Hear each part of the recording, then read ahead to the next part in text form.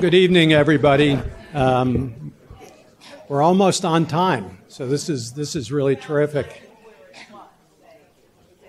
My name is uh, Carton Rogers. I'm the Vice Provost and Director of Libraries here at Penn, and it's my pleasure to welcome you to the 2016 Beitler Collection Distinguished Lecture.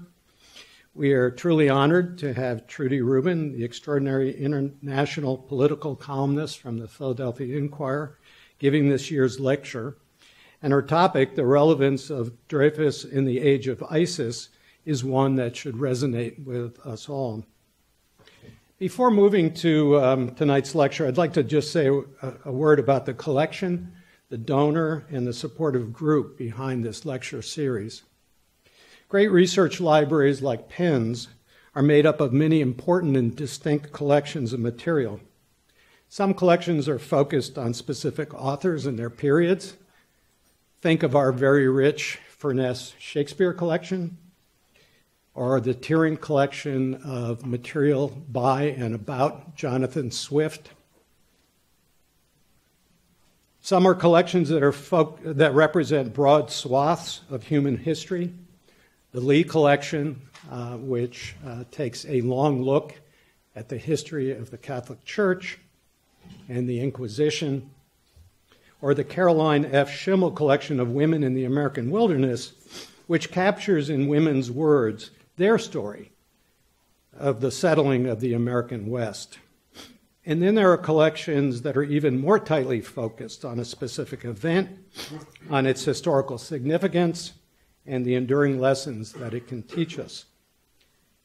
The Lorraine Beitler collection of the Dreyfus Affair is one of the latter, and we are very fortunate indeed that Lorraine entrusted her great collection to our care.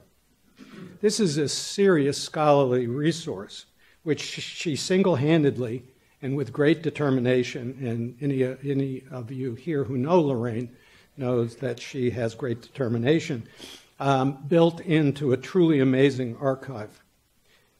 Beyond building the collection to memorialize the affair, it has been Lorraine's constant vision to use this material to teach generations after generations of people about the evils of anti Semitism and prejudice writ large.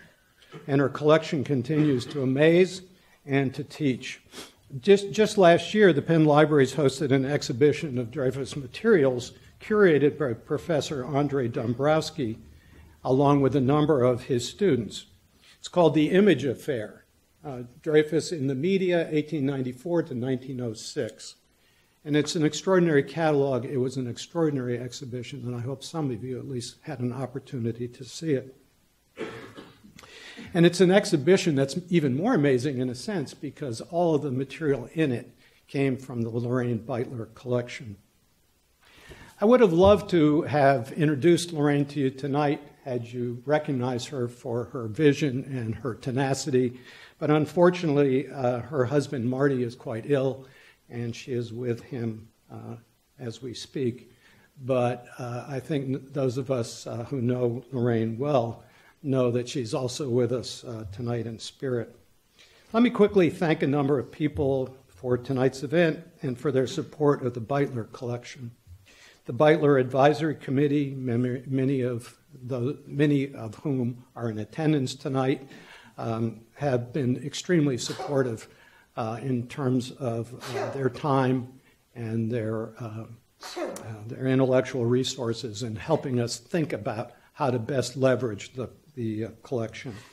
Um, I specifically want to note the events subcommittee of the, uh, the group, Marge Dugan and Germaine Ingram, for having the uh, vision to uh, pick tonight's speaker. Uh, we're extremely fortunate for their uh, work in this regard. I'd like to thank um, the Penn Library's events coordinator, coordinator Alita Arthurs, who put together uh, the reception that will follow this event.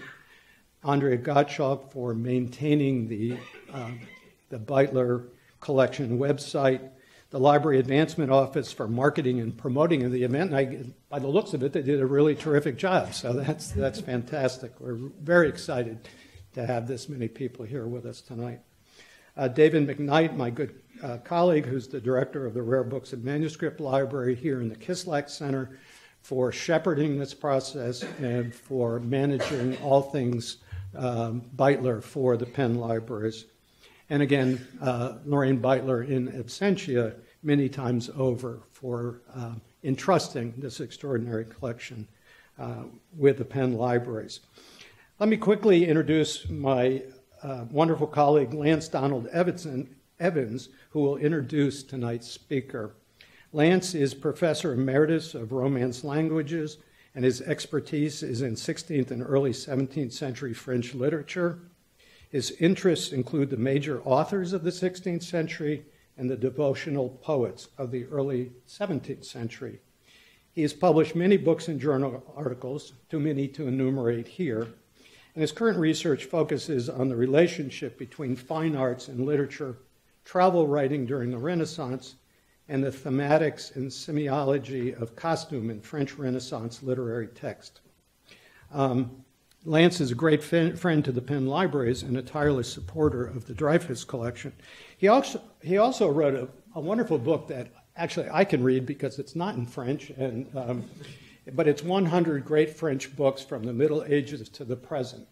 And um, my bucket list includes reading all of Dickens, rereading all of P.G. Wodehouse, and the 100 great French books, thanks to uh, my good friend Lance Donaldson Evans. Lance?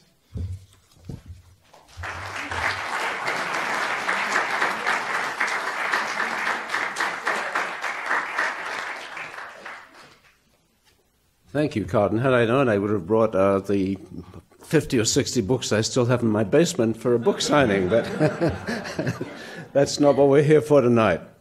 So, as chair of the advisory committee of the Lorraine Beitler Dreyfus Affair Collection, I have the great pleasure of welcoming you all to this year's distinguished lecture. As you know, thanks to Lorraine's generosity and to her passion for collecting, and I've coined a word, Dreyfusiana, anything to do with Dreyfus, Penn now has one of the finest collections of material devoted to l'affaire Dreyfus, had to get some French in there somewhere, in the United States, if not the world. Part of the mission of her collection is to remind us of the relevance of l'affaire Dreyfus to our current political and social situation. To do this, Lorraine has endowed a distinguished lecture series of which today's event, or this evening's event, is the latest. Now, as you may remember, journalism, and in particular Émile Zola's famous letter, J'accuse, which appeared in the newspaper L'Aurore, played a vital role in overturning Alfred Dreyfus's scandalously false conviction for espionage in late 19th and early 20th century France. And it is for this reason that we invited this year's speaker from among the Philadelphia journalism community, and we approached the journalist that we consider to be the most distinguished, the most astute, and the most influential commentator on international affairs, Trudy Rubin. As you can see, she was gracious enough to accept our invitation, and we're delighted to have her with us tonight. Now, if you're like me, when Thursdays and Sundays Inquirer arrive, the first thing you turn to after maybe looking at the headlines, or maybe not, uh, is to turn to her column, which constantly educates, challenges, and inspires. And it appears not only in the Inquirer, but in many newspapers across the country. As you know, Trudy Rubin is the foreign affairs columnist for the Philadelphia Inquirer and is a member of the Inquirer's editorial board. She has special expertise on the Middle East, Russia, South Asia, and is a frequent guest on NPR and PBS news shows. She's just recently returned from a fact finding visit to Iraq, which must have been fun.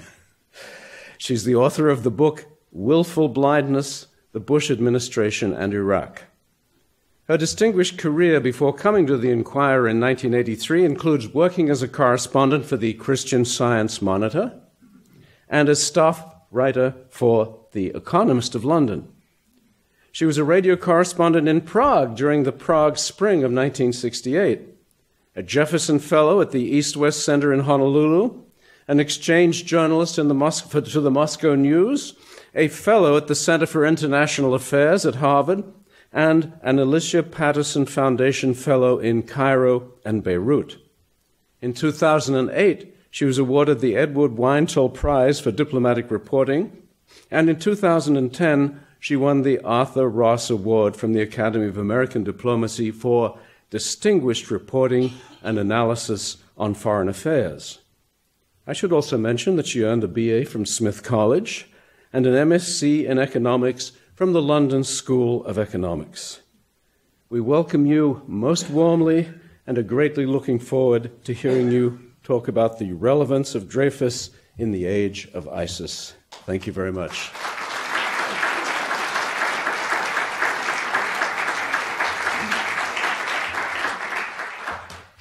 Uh, thank you so much for that lovely introduction. Um, and thank you all for coming out. I looked at the rainy weather this morning and I thought, oh, nobody, but the sun came out and here you all are. Maybe you even would have been here if it was raining, so thank you very much. I have to figure out how to use this uh, podium here and actually see. Uh, two weeks ago, I ended a trip to the north of Iraq and to Syria. Uh, went across the Tigris in a motorboat um, from one side to the other. A trip that was uh, taken to investigate progress in the war against ISIS. And when I left Syria and Iraq, I went to Brussels and then to Paris, uh, thinking that I was just going to relax and attend a conference and perhaps uh, do a little good eating in Paris. In Brussels, as it turned out, um, I visited the Muslim district of Molenbeek, uh, from which most of the terrorists came who launched the horrendous November attack last year. Because as soon as I reached Brussels, they had just caught the last surviving member of the terrorist group that did the Paris attacks. And as it turned out, I left Brussels just a day before the bombs went off at the airport and on the metro. Uh, excuse me one minute. Could someone get me some water? I'd be very grateful. Thank you. When I reached Paris, my first stop was to pay my respects outside the lovely Bataclan concert hall with its Chinese style painted exterior. It was very sobering to walk along the side and look at the windows where people were trying to jump out and were stopped by terrorists who were firing at them and throwing grenades. And 90 music lovers, mostly young people, died there. Then I stopped at the nearby Place de République, which was still filled with tributes to the victims. Thanks so much.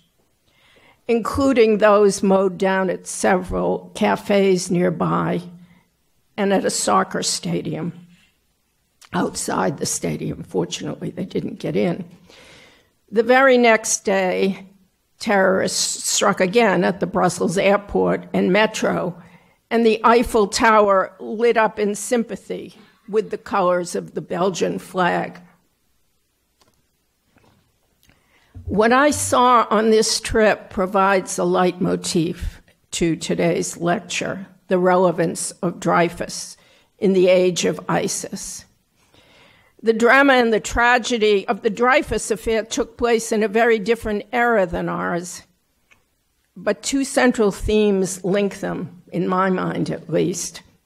First, how do you preserve tolerance and avoid scapegoating during a time of great change that provokes public fears and anxiety and inspires extremism?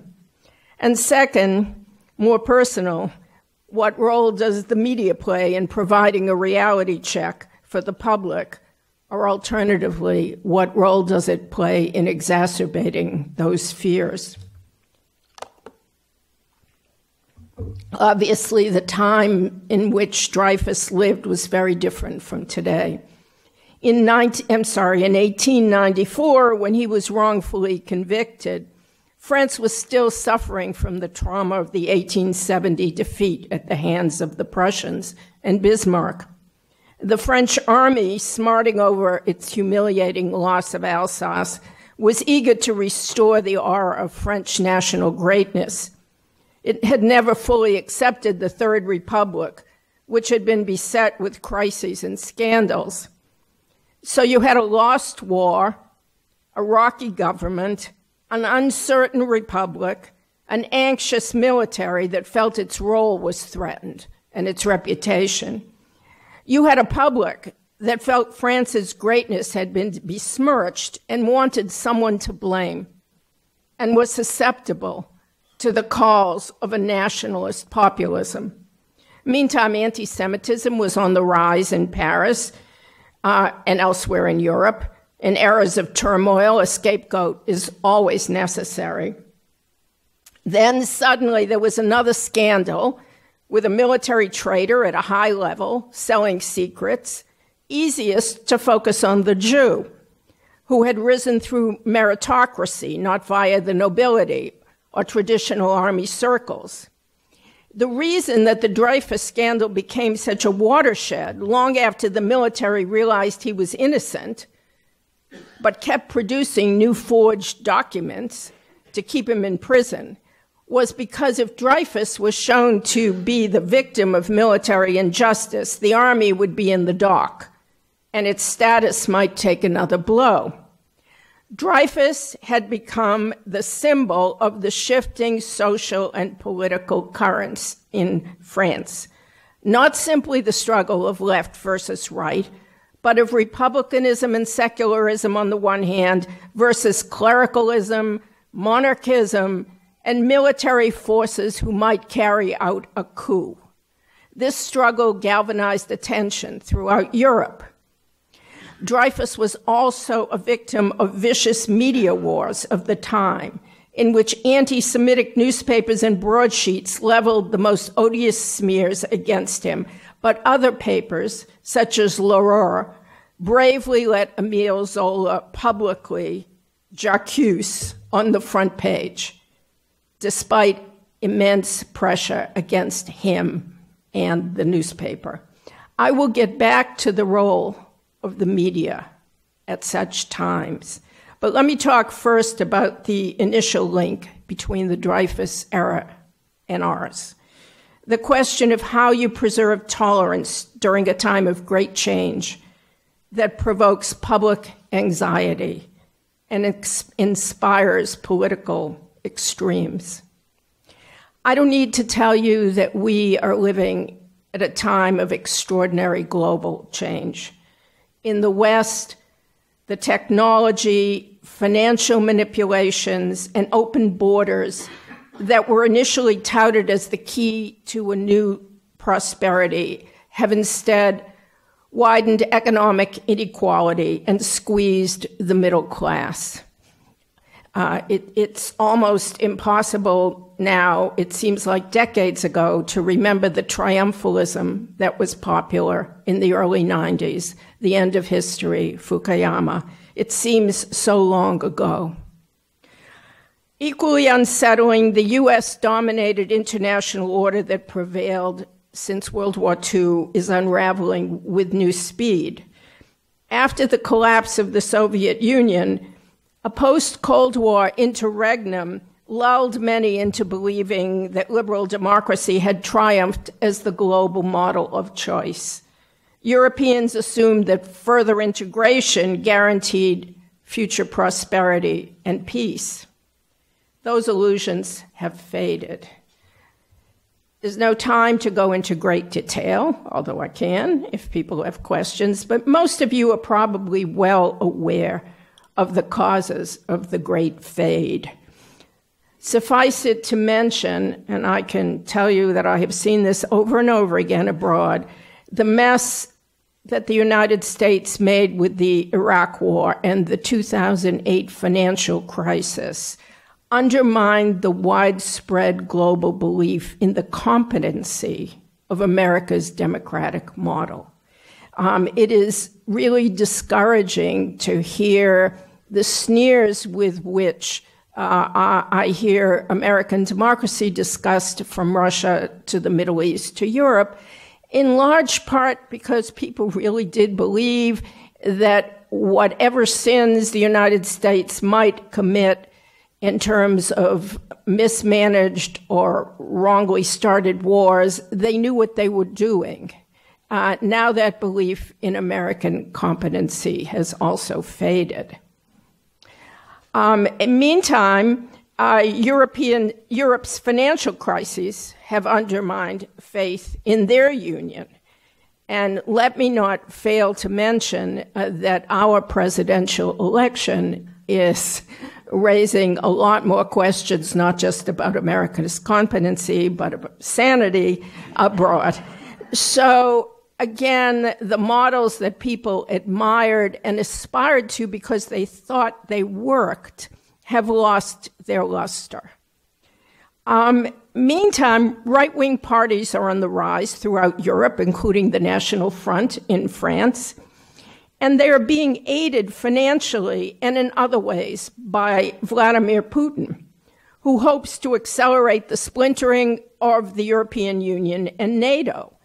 He also hopes his model of managed democracy, uh, you know, which means authoritarianism with window dressing, will gain global traction with him as its leader.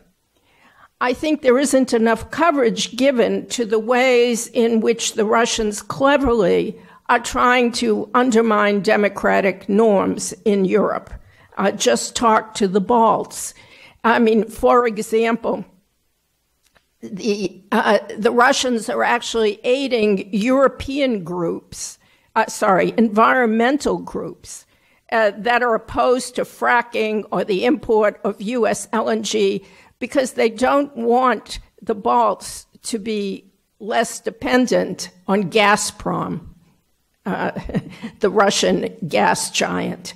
Uh, the Russians are also feeding money underground and sometimes openly in the case of the National Front in France openly, to right wing political parties, uh, and in many other ways are cleverly, uh, sometimes with our unwitting help, with Europe's unwitting help, uh, trying to support the right and encourage those forces which want to withdraw from the European Union, whether it's a Brexit with the, with the Brits perhaps after a referendum deciding to withdraw, or whether it's simply helping parties whose platform calls for withdrawal from the EU.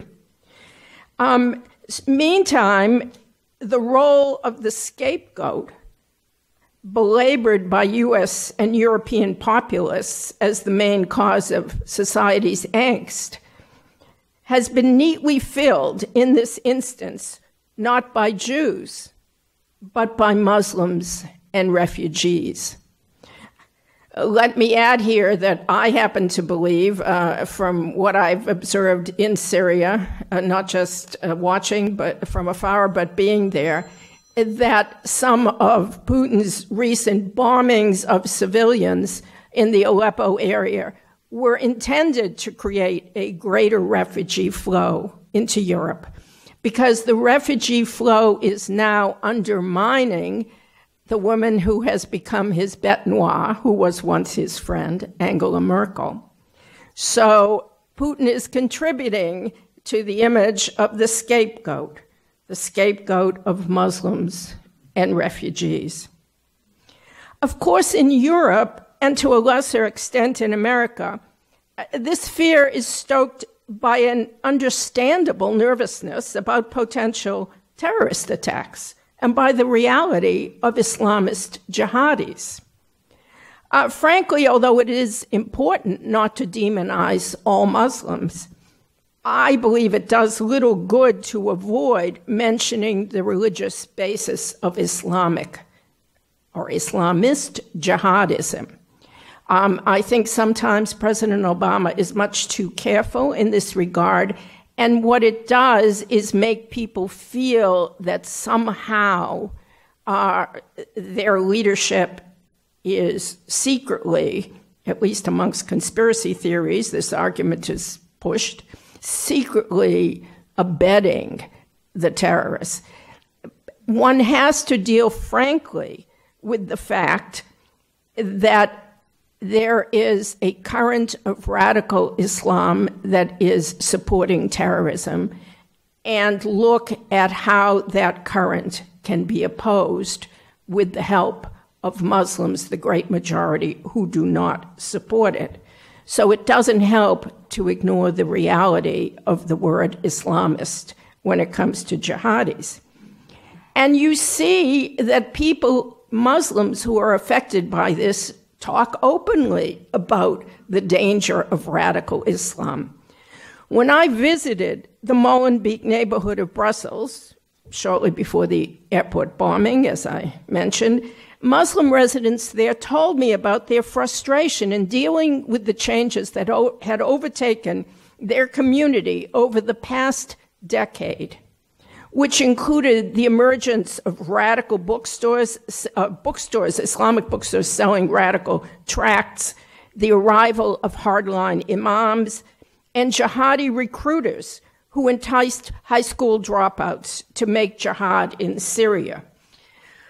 I will tell you that when I went into Syria in December 2012, crossing the Turkish border, and went to the headquarters of one of the Islamist groups there, um, one of the radical Islamist groups there, not Al Qaeda, and it was before ISIS, but a group that is only one step removed, the first person I met was a Belgian.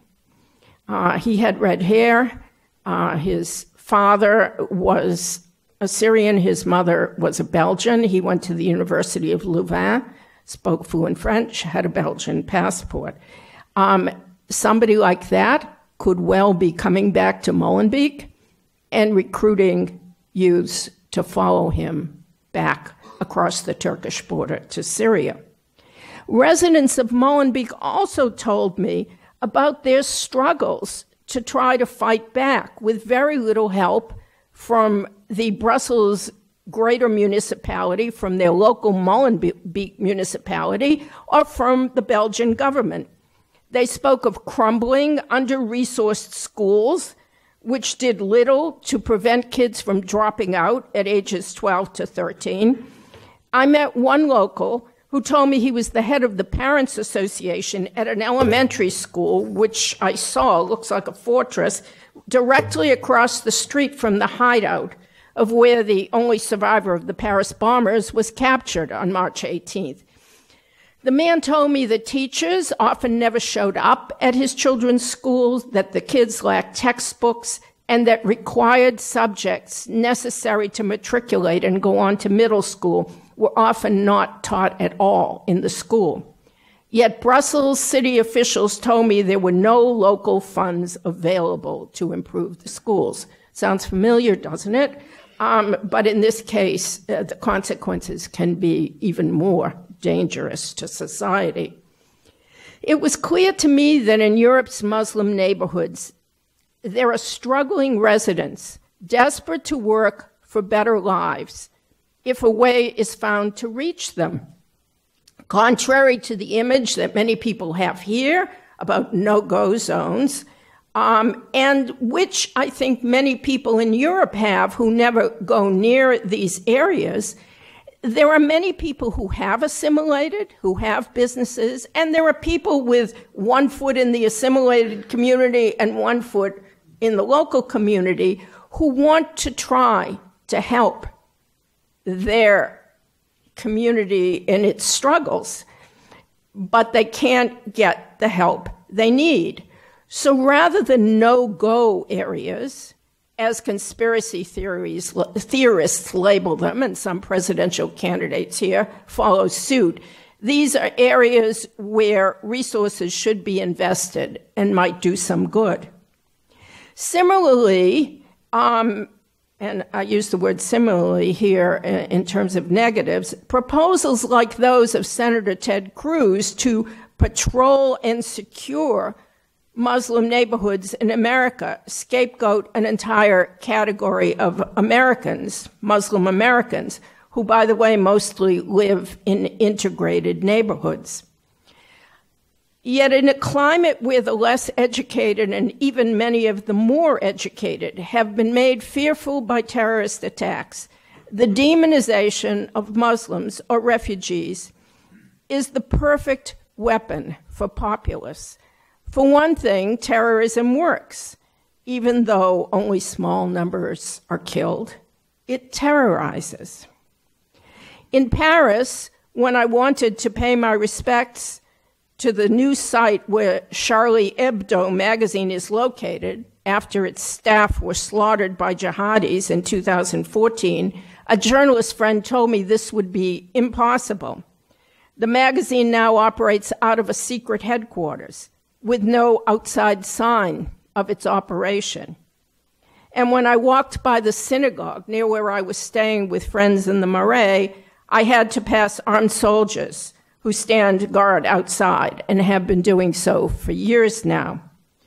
So no wonder ordinary Parisians, whether or not they admit it, might be fearful of French Muslims. Most of the terrorist attacks have been carried out by people who have citizenship in the countries in which they are living. And no wonder Parisians might be anxious to prevent a new influx of Muslim immigrants. No wonder the immigration issue has fueled the advance of National Party leader Marine Le Pen. Uh, yes, she has expelled her father, who founded the party, out of the party's ranks. He just called the, the Nazi gas chambers a detail of World War II. But the party still wants to end NATO, cozy up to Putin, and withdraw from the EU. And no wonder Germany's right wing is feeding off the highly moral stance of Angela Merkel, Merkel, who decided to welcome hundreds of thousands of new immigrants many from Syria. The manipulation of this issue is all too easy. Nobody wants to talk about the hard stuff that has to be done. Uh, solving the ISIS question and the Syrian civil war, which is sending uh, at least half of the refugees fleeing towards Europe, is really difficult. And dealing logically with the influx of migrants is terribly hard, takes a lot of money. The numbers, while huge, are not insurmountable. Um, both Germany and France have learned a lot of lessons about what should be done and shouldn't be done in terms of integration. They are not starting from scratch. It is not as if Germany is back in the 1960s when they didn't understand the consequences of waves of Turkish guest workers coming in who brought their wives from Anatolia who didn't speak any German and never learned German, so the kids were ill prepared when they went to, to school. Those lessons have been incorporated in society. And in truth, many of the Syrian immigrants who are coming now, half of the group that are coming, are educated. Syria had a reasonably good school system before the Civil War, and most kids were literate and went uh, at least through middle school. So there is material to work with. If you saw the immigrant interviews that there were so many of them on television for a while, most of these families were saying they wanted their children immediately to learn German. But few Germans or Frenchmen or women will have the opportunity that I have had to visit Iraq and Syria and talk with some of the people who are making this dangerous voyage. I mean, for example, Yazidis. Many of the people who are going on this dangerous immigrant run are Yazidis. Uh, the people who have been raped and slaughtered by ISIS, who most of you probably have heard about, uh, 2,000 women still in sexual slavery with their families desperate to try to buy them out, which is one reason why a lot of young Yazidis are making this trip. A few will have talked with Kurds in Iraq and Syria, as I did on this trip, many of whom have also fled to Europe because they feel threatened by the jihadi onslaught and they don't see what their future will be. But the Kurds, again, uh, this is a new generation, young Kurds, educated, they want to learn the language. This is material that could help, not hurt Europe. But the population, few of them know this. It's very hard to distinguish. And in fact, the, the group of refugees who threatened and mistreated women in Cologne, which became a, a very famous incident, this was not Syrian refugees. And few will be aware, as I said, that the fleeing Syrians are largely middle class and more prepared for integration than the Turks were, or than the young Afghans who were desperately now fleeing by the thousands to Europe. The times that we live in are terribly complicated. It takes skilled politicians to calm these really understandable fears to find the funds to school and train and integrate new immigrants. And by the way, uh, to figure out a way to train local imams who speak the local languages. I think one of the risks of the new immigration is that the Saudis will send money in to train imams in Wahhabi thinking because so many of the new immigrants are Arab speakers that is not what is needed. The Germans are beginning to train local imams who are German speakers. means the German security can listen to them in the mosque, but it also means that they're not under Saudi influence. And this is something, along with the kind of schooling these children will need, that responsible politicians could be promoting. Responsible politicians could also find a workable formula to check the flow until the current wave is settled. That is unavoidable. And until the slim prospects for peace in Syria can be more fully explored. It takes gutsy politicians to explain to frightened publics that yes, Islam is rent within by a vicious struggle between a radical, aggressive trend and the rest. And unfortunately, the rest have no pope. So there is no one voice that can speak for Sunni Islam. And Arab leaders are weak. This is a reality. But at least somebody has to be able to put it to nervous publics and to tell them that even if we pursue smarter anti terrorist policies than we have, the problem is likely to continue for some time.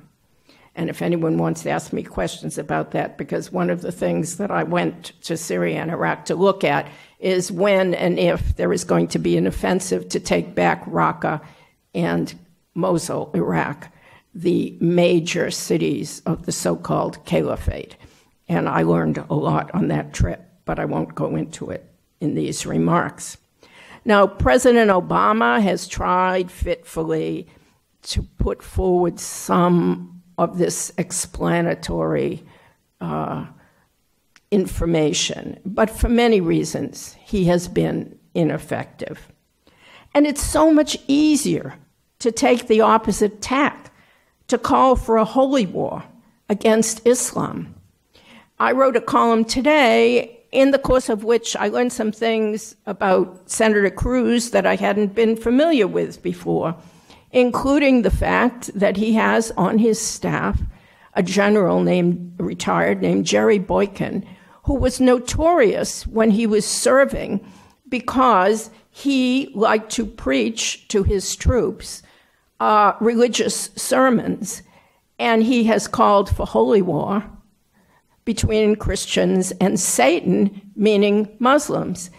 This is the kind of approach that is so dangerous but it is so much easier for a politician to make this pitch to whip up fearful voters.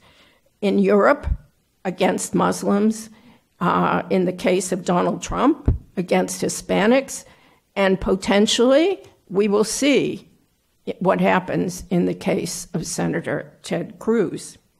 we are short of politicians with the charisma and stature to handle these complex issues well.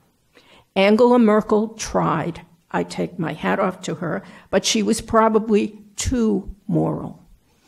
She felt that because of Germany's history and because Europe had failed to come up with a helpful solution to end the Syrian civil war, that it was Germany's duty to take those refugees.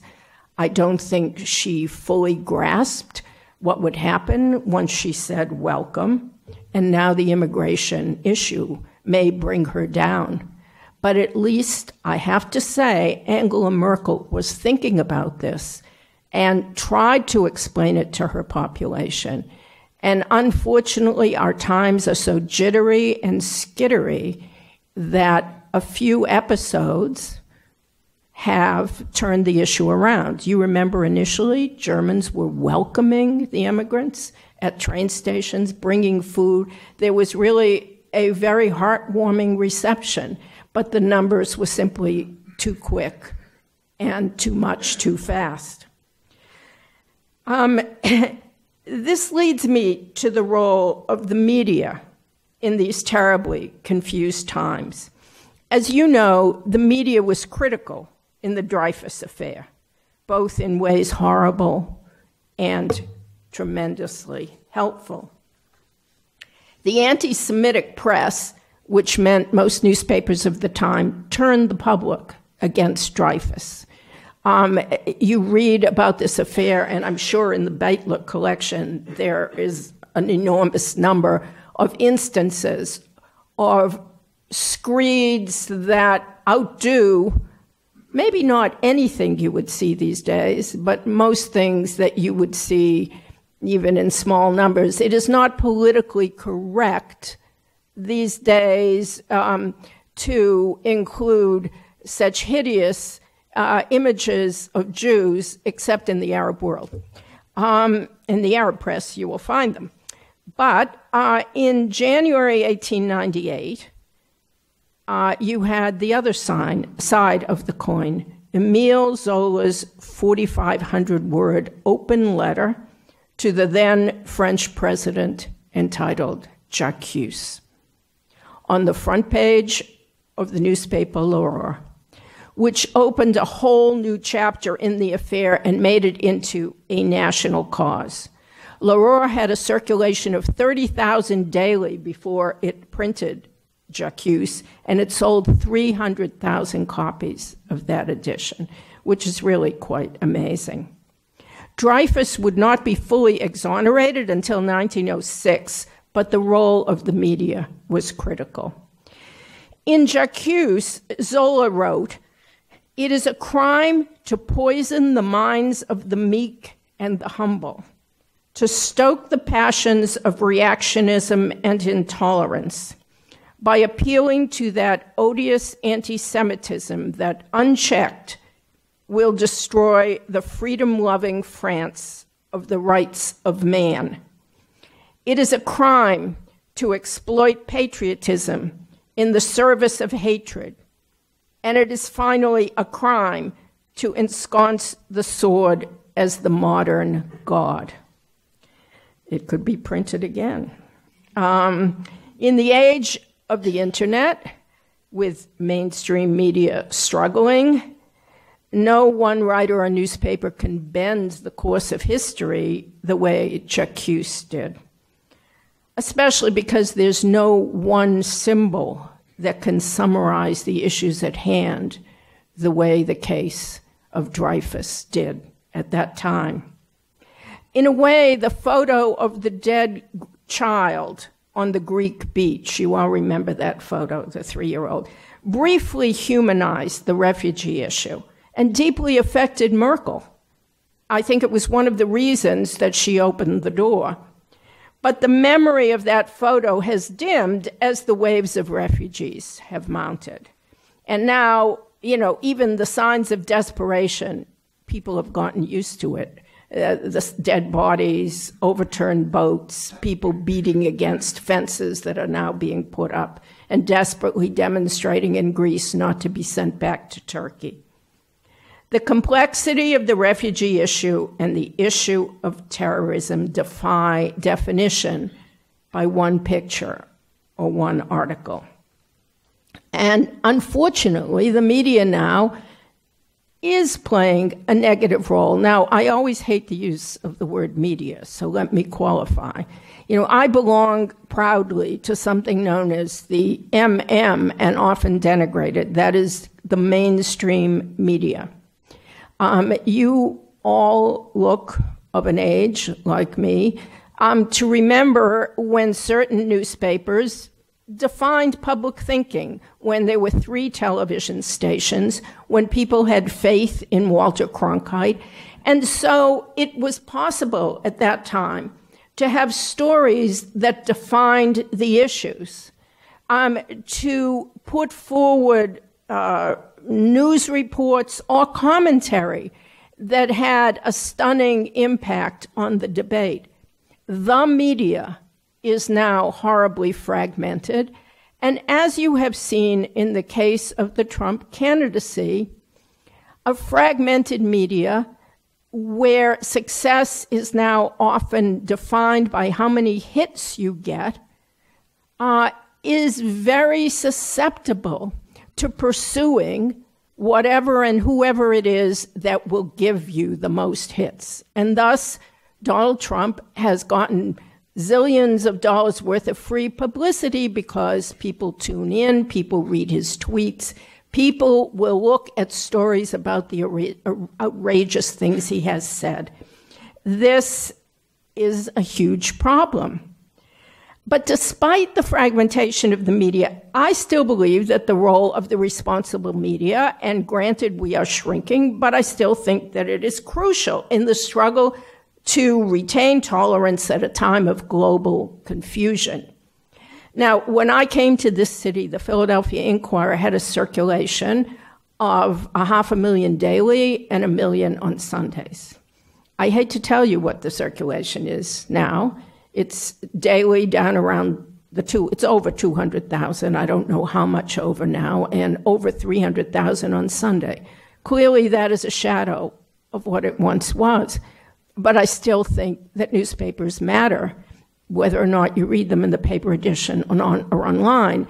The New York Times has become uh, almost the, uh, I mean, it always prided itself as the paper of record, but it is really the last of the once great American newspapers that maintains sizable foreign staffs, and never has it been more critical because in trying to explain what is going on with ISIS, you need a newspaper that has and is willing to spend the money to have multiple correspondents overseas. I can tell you this is a story that is impossible to cover if you simply have one correspondent in Beirut, and that is how you cover the Middle East.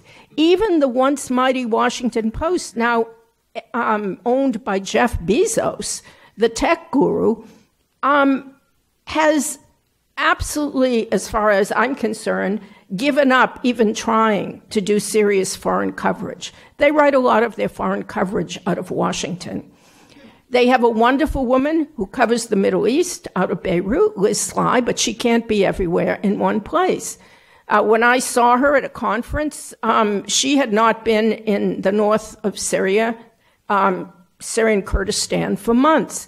Now it happens that that's the one place where 50 U.S. Special Forces and the Syrian Kurds and some Sunni tribals might actually be able to take back Raqqa.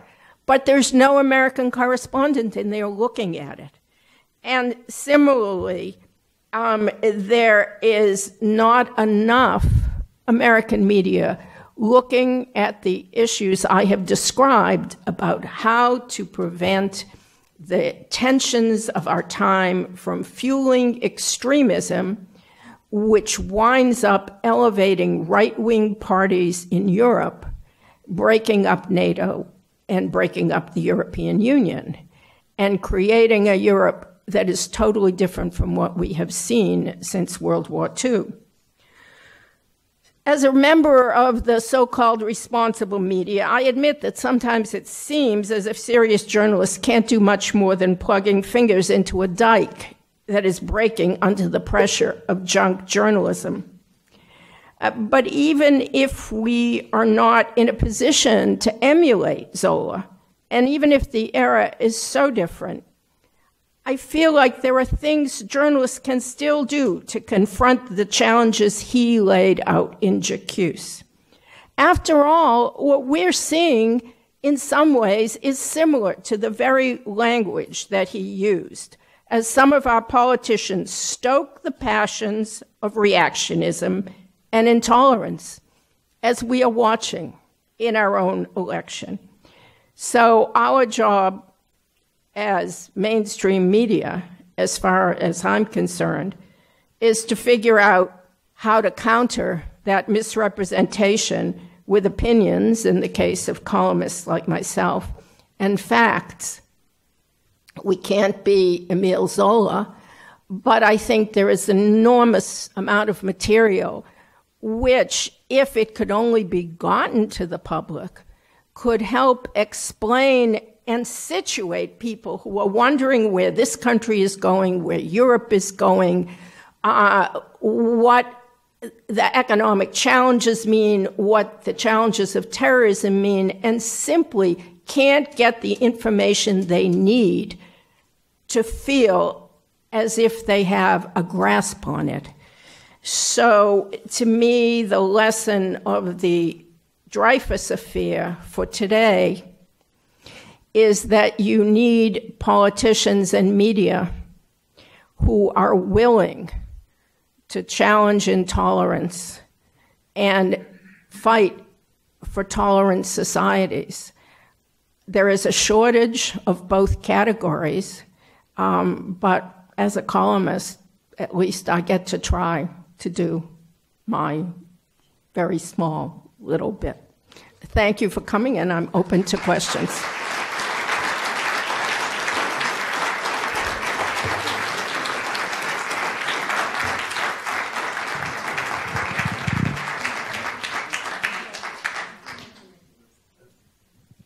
Do you want me to just take the Would, would you like to han- handle the questions yourself? Sure. Okay. Yeah. All right, good. Uh, Um, do you want to take a mic around, or do you think people, you got a mic? Okay. Um, uh, yeah, I see a gentleman right here with a red. Sorry. I didn't ISIS arise from the uh, senseless invasion and slaughter of uh, over a million Muslims by our government?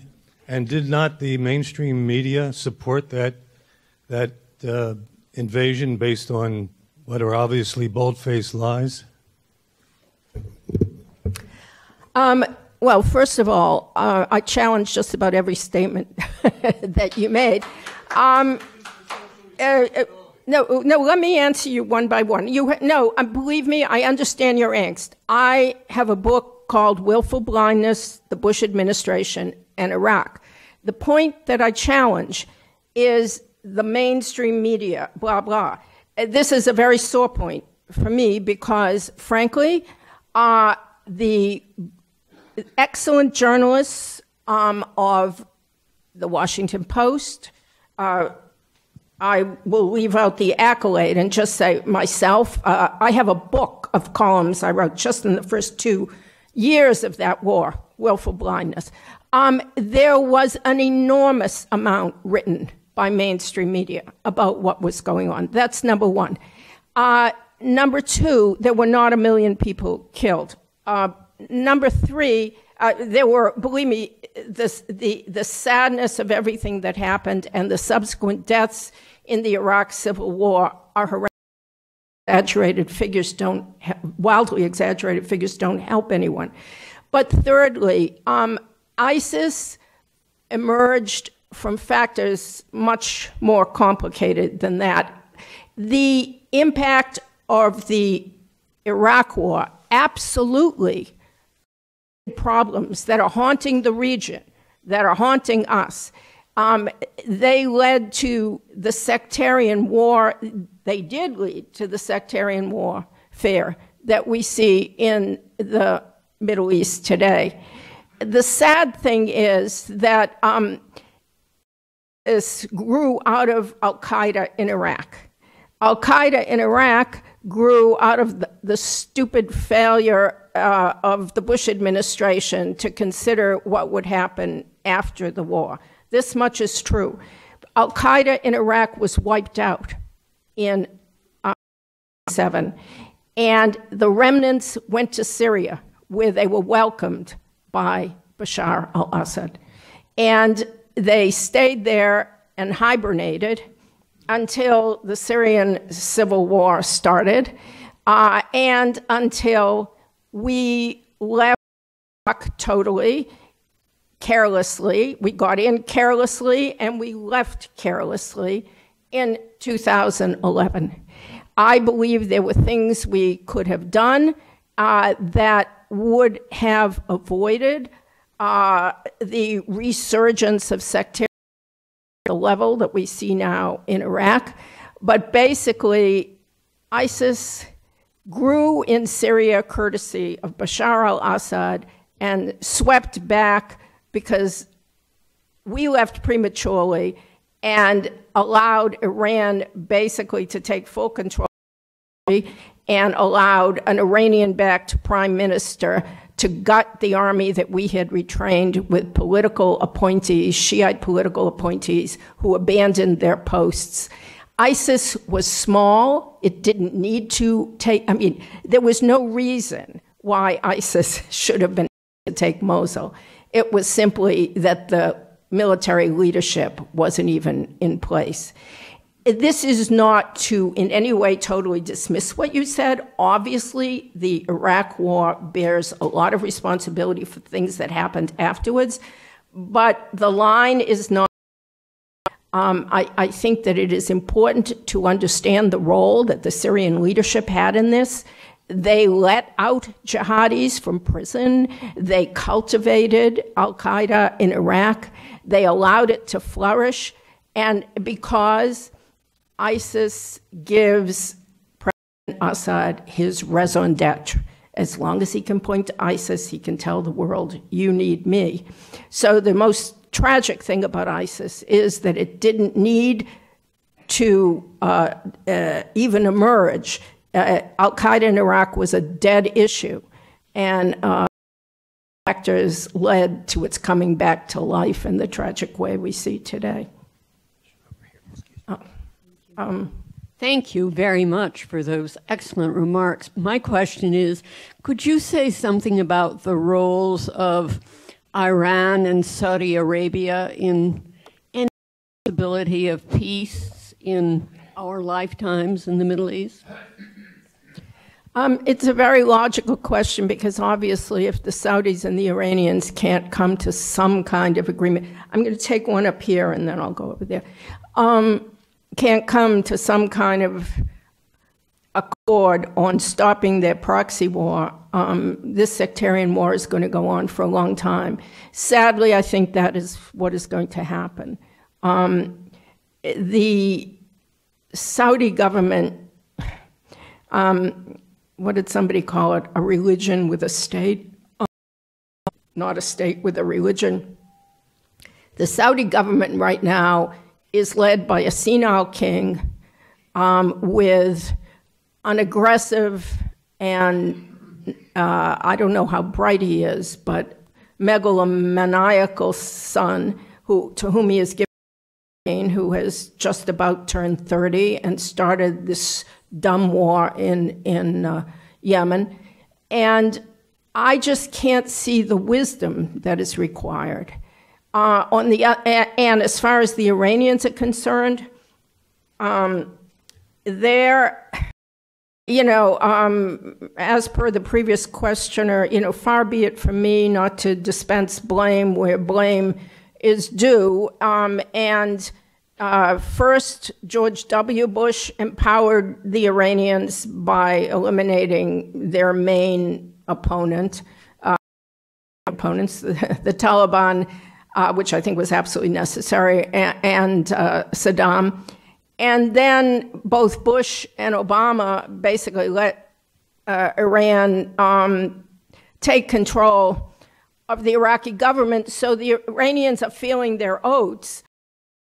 Believe that the deal we signed with Iran was better than the alternative, but I think it was badly negotiated, so that has helped the Iranians feel more oats. And I don't think they feel any pressure to rein in their support of the Shiite side. And so the two of them are just bound to clash. When you look back at how episodes of, of civil war and unrest stopped in the Middle East prior to this, the classic example was the Lebanese civil war, where outside parties were as they are fueling the Syrian civil war and unrest in Iraq. And the way that stopped was that in 1990, it had gone on so long that the, the parties that were fueling it, which was then Saudi Arabia and the Syrians, decided to end it. The Syrians sent their army into Lebanon, and the Saudis stopped sending money. They had a conference in Taif, and the war stopped. Right now, you have no deus ex machina that can impose. I mean, the U.S. has basically withdrawn, and even uh, even if it had, I, I think the U. This is a long discussion which I won't get into unless somebody asks me a direct question. I think there was more that the U.S. could do in Syria, and there still is, and I don't mean sending ground troops. But at this point, I don't see the Saudis and the Iranians stopping their proxy war, and we don't have the leverage, I don't think, to make them do it. So this is going to go on for a long time. Um, this gentleman here.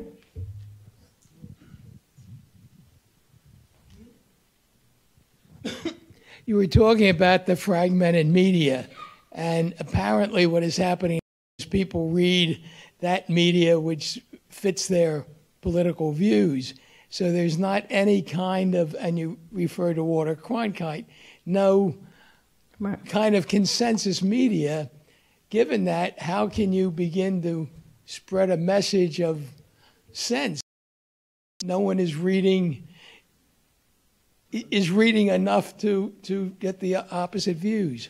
I mean, is there a solution? Uh, I think that's a really important question.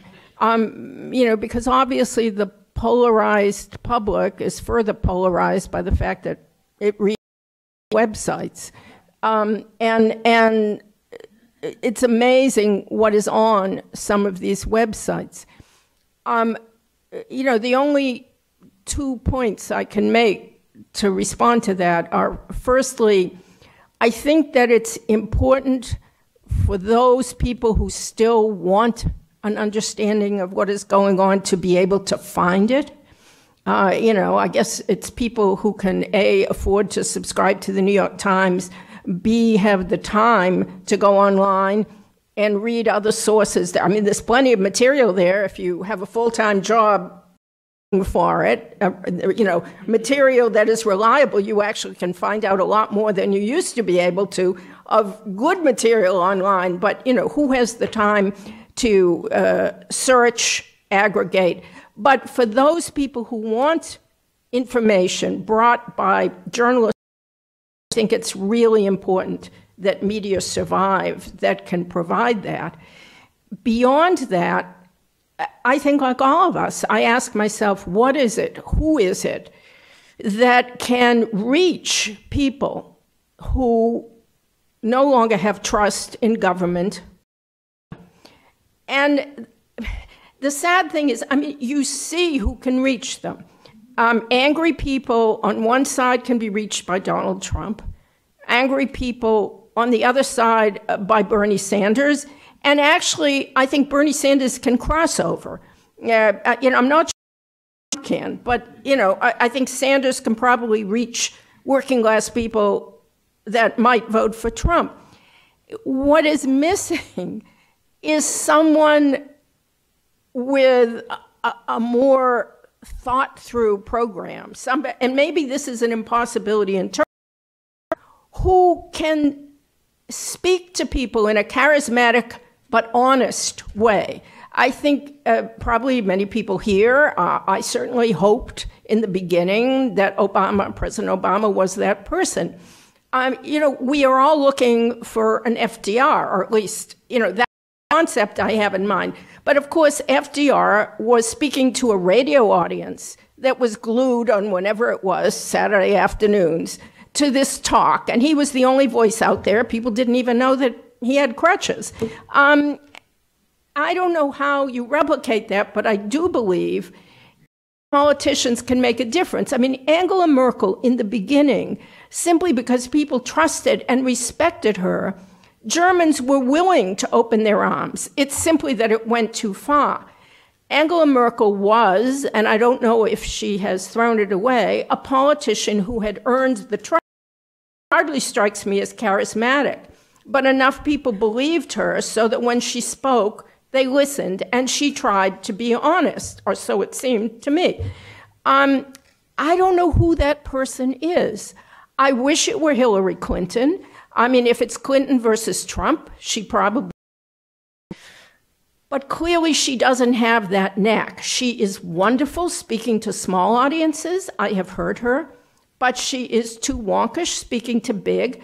And the trust factor is missing, deservedly or undeservedly. I don't know where we find that politician. And as you, the press is fragmented. So, you know, I mean, maybe I'm whistling Dixie. We know what the cure might, not cure, we know what the antidote to populism would be. But, um, you know, those in the media who can try to provide it are just in a little corner struggling and the politician who could offer it so far is not to be seen. Question here and then question back there. Uh, the other uh, power player in the, in the Middle East is Turkey, and you didn't talk much about Turkey. So, c- can you share what you think uh, Erdogan's agenda is, and then also talk about uh, um, their obsession with the with the Kurds, or why they feel threatened uh, by the Kurds, because that's Sure. interfering with Um, I've interviewed Erdogan twice, and both times I had a stroke. Um, is a very ex- excitable man. He gets extremely emotional, a vein throbs in his forehead. He turns red, and his staff hover around him as if they're expecting any moment to have to call the ambulance. But I think Erdogan's goal, I think Erdogan's goal has become one thing only uh, to be able to amass the number of seats in parliament in order to change the constitution so that he can have uh, a powerful presidency rather than the symbolic presidency that Turkey now has, and he can control for God knows how long. And towards that end, I think he is doing things that are very dangerous for the country. Um, Erdogan, very cleverly, in his terms as prime minister, had been negotiating with Turkish Kurds, which was very important to peace, stability, economic progress, and possible EU accession for Turkey. Um, and while he was negotiating with the imprisoned leader of the Turkish rebel group, the PKK, um, Mr. Öcalan, Erdogan was also talking with representatives of the Syrian Kurds. What has happened now is that for reasons of wanting to um, corral nationalist votes and expand his base, he has returned to all out warfare with the Kurds. Now, the PKK is not blameless at all, but Erdogan simply has shot the bolt. He has gone back raging cities in the southeast, massive civilian deaths. It's very hard to get news about it because nobody can get in to cover it. Moreover, he has totally cut off contact with the Kurds of Syria, um, and in fact, is blockading uh, the border with them. And has good relations with the Kurds of Iraq because they're totally dependent on him economically. If you look at the map, the Kurds of Iraq who have had a, a, sort of a, a serious autonomy, quasi state, ever since America established a no fly zone in 1991, their oil pipeline goes through Turkey, all of their commerce, so they need good relations, and they have them with Ankara. They're totally dependent on Ankara. So he has even, Erdogan has even prevailed on the Kurds of Iraq to often blockade the, the Syrian Kurds. The leadership of the Syrian Kurds is not allowed to get, the only get out is to go across the Tigris River in the other direction from the way I went in a little motorboat, and he's blocking it. I, I mean, the, the Iraqi Kurds are blocking it. Now, where this is so problematic for the United States is that the fight against ISIS is very heavily dependent on the Kurds. And especially in Syria, um, it would be far easier to take Raqqa, which is it's a much smaller city. It's in it's in uh, northeast uh, Syria, and it is the emotional religiously historical center of the so called caliphate. Mosul, the city that they hold in Iraq, the second largest city in Iraq, is much more important economically and far, far bigger. But it's much harder to take because the Kurds there are not going to go into the Arab heart of Mosul and different ethnic and religious players involved that it's very complicated to organize that. But in Syria, in Raqqa, the Syrian Kurds are capable. They can't just do it with Kurds because it's a Sunni Arab city. So uh, they already have some Sunni tribal fighters, and they are very anxious for the Americans to help organize a, a, a tribal force. We have 50 special forces in there. And if the tribal fighters in that part of Syria sensed that there was really the will on the U.S. to go for Raqqa, I think, I mean, you know, they're beginning to shift ground. But we're not doing it because Turkey is totally opposed to the support we're giving to these Syrian Kurds and doesn't want us to give any more. And it's crazy because that is the direction to go. And if Raqqa fell, the beginning of the end for ISIS, because then Sunnis in Mosul would begin to think maybe it's time for the uprising, yada, yada. I mean, many things would follow after that. So, in order to appease, placate um, the Turkish ally, because we fly out of an air base in Turkey, in Incirlik, uh, which is, makes it much easier for us to give air support to the, the, Iraqis, and also we we are giving air support to the Syrian Kurds, but not for the major offensive that would really, you know, take Raqqa. Uh, so what can I say about Erdogan except he's doing his own country in by stoking a civil war.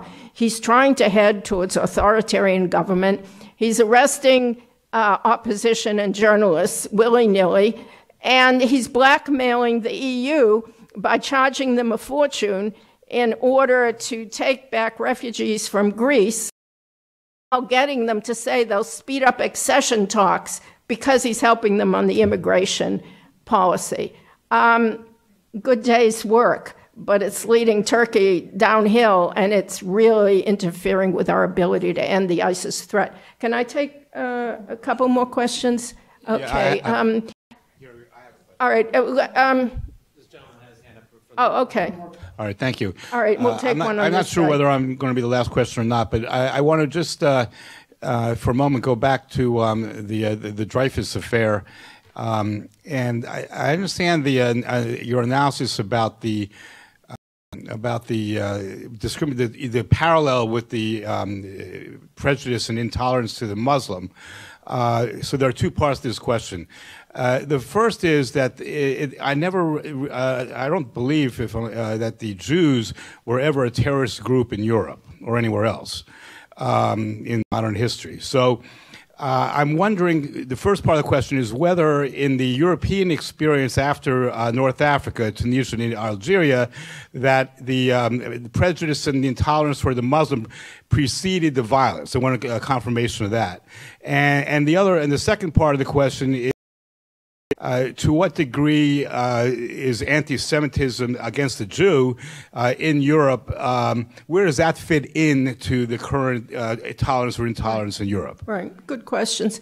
Um, you know, as as far as the first part, um, before the terrorist attacks, had, certainly in France, also in Belgium, was um, uh, an effort not really to deal with the assimilation problem. Each of them handled it in different ways. You did not have terrorism, you sometimes had violence.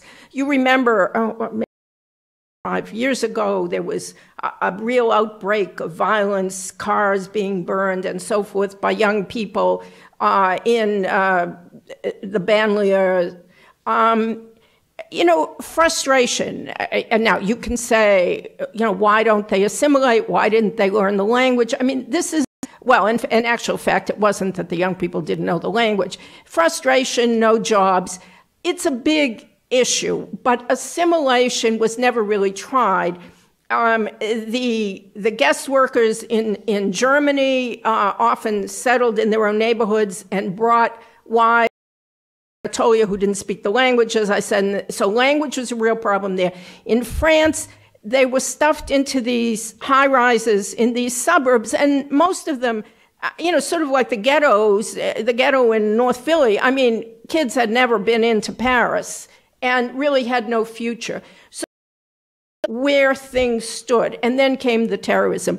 Of course, it is true. I mean, in the case of, of anti Semitism in, in France at the time of Dreyfus, Jews, no, they were not terrorists. What you had was the claim that they were responsible for financial scandals always find, you know, a couple of financiers. There had been a big banking scandal in Paris at the time that the Dreyfus affair started, and two Jewish bankers were involved. So, whoopee, you know, this provided the fodder. But um, I think the point that I'm making, you know, yes, there is a problem with Muslim jihadis, and they are preying on these unemployed youth. Some of them were from that cohort, and now they come back and get more of them. But there is also a large body of Muslims who don't belong to this, who are being tarred and who nobody has figured out how to out to. As far as the issue of anti Semitism, of course, this is a big problem because the jihadis are going after Jewish targets. We saw it in France when they went after the Jewish grocery at the time um, uh, of, uh, I think it was Charlie Hebdo. Um, uh, and, you know, so the Jewish community is very unnerved by this, and there is an attempt, clearly, um, by these radical Islamists who have penetrated the communities to turn locals against the Jewish community. And yes, it is a problem. Again, I don't think it's universal, but I think probably that's a bigger problem for the Jewish community but anti-Semitism, um, uh, you know, a specific problem for the Jewish community. But anti-Semitism or Jews as a political scapegoat used by the radical right have fallen out of fashion. I mean, you have Marine Le Pen kicking her father out of the party that he founded because she understands that you can't play that game in France. Maybe people quietly still think it, but you can't have anti Semitic newspapers. And furthermore, Jews are in very powerful positions in the country, in politics. And so um, it, at the moment, um, the scapegoat of choice in the political sphere is not Jews. Um, uh, should I take one more, or is that? All right, I will end it here then.